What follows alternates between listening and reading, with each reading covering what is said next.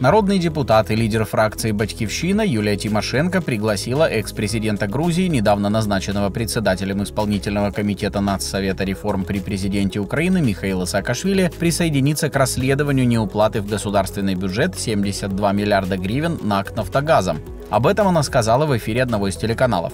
Миша правильно сказал, что когда мы увидели, что ничего не происходит, что никто не понес наказание, никто не вскрыл эту коррупцию, которая вопиющая, то я могу сказать, что временная следственная комиссия, которую мы создали, она сделает свое дело, и у меня бухгалтерские документы на руках о том, что НАК «Нафтогаз» не перечислил в государственный бюджет 72 миллиарда гривен. Представляете эту сумму? Это ровно столько, сколько в этом году ожидают от Международного валютного фонда, сказала Тимошенко. Она отметила, что эти документы она получила от работников бухгалтерии финансового сектора НАК «Нафтогаз». Поэтому я, зная Мишу, это боец, он коррупции в своей стране сломал через колени позвонок. Миша, я хочу отдать тебе эту справку бухгалтерскую относительно 72 миллиардов недопересчитанных средств от НАК «Нафтогаза». И давай сделаем их вместе, сказала нардепка.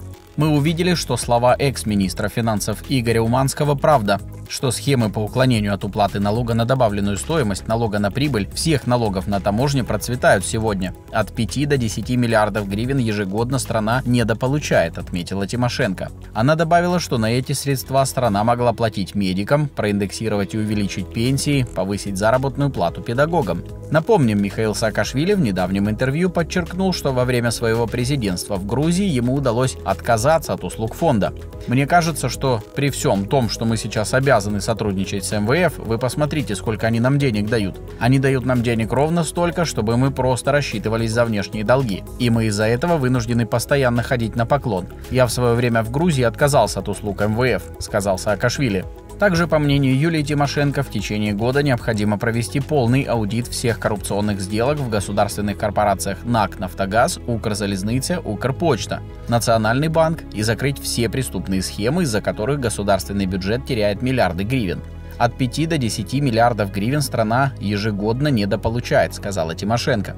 Напомним, по информации Госаудитслужбы, по результатам ревизии финансово-хозяйственной деятельности АО «Укрзалезница» и его 24 филиалов в период с 2018 года по 2019 выявлено нарушений на сумму почти 12 миллиардов гривен, что негативно повлияло на финансово-хозяйственную деятельность предприятия. Ранее народный депутат Украины, член Комитета по вопросам транспорта и инфраструктуры Александр Скичко заявил, что если министр инфраструктуры не преодолеет системную коррупцию в Укрзалезнице, депутаты будут инициировать вопрос о его замене.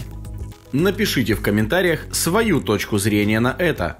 Также вы нам очень поможете, если поделитесь этим видео на своих страничках в соцсетях.